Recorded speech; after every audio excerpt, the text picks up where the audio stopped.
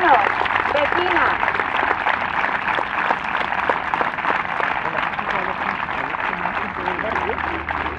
Vecinos, vecinas, compañeros y compañeras de la sanidad, como ya sabéis, la crisis del coronavirus ha puesto de manifiesto una vez más la precariedad a la que está sometida nuestro sistema sanitario, tanto en recursos humanos como materiales.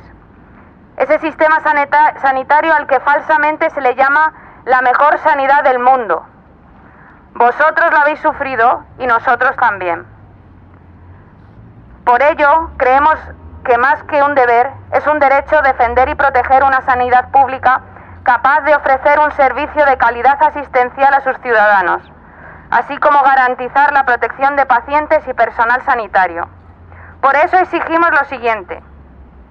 La atención primaria, columna vertebral de nuestro Sistema Nacional de Salud, debe ser dotada de medios y de personal abrir todos los centros de salud a los pacientes y parar las derivaciones a la sanidad privada.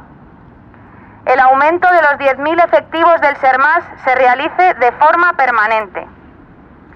Bolsas de trabajo únicas y transparentes para todas las categorías, no a, no a la penalización. No somos esclavos del sistema. Restituir las 35 horas semanales de manera inmediata, favoreciendo la conciliación familiar, la recuperación de los miles de puestos de trabajo perdidos por los recortes sufridos durante los últimos años y favorecer el descanso de los profesionales sanitarios para mejorar la atención a los pacientes. Legislar los ratios paciente facultativo de la salud de una, de una manera coherente y justa. El abordaje de las listas de esperas interminables no pasa por la derivación de los pacientes de la sanidad pública a entidades privadas, sino por el refuerzo humano y material del sistema sanitario. No al cierre de camas en verano, y sí a la apertura de las plantas y bloques cerrados en los hospitales públicos, como la Torre 4 de nuestro hospital.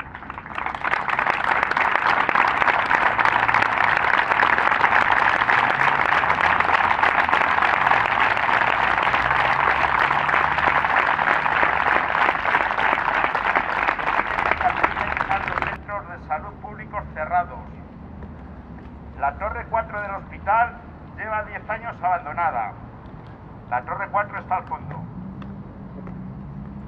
La torre 4 del Hospital del Norte lleva 10 años abandonada y encima ahora Díaz Ayuso se descuelga con la construcción de un nuevo hospital, teniendo espacios y centros sanitarios cerrados.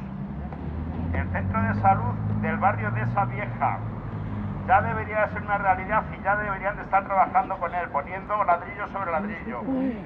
Sigue siendo un solar. La falta de EPIs para las y los profesionales es inadmisible.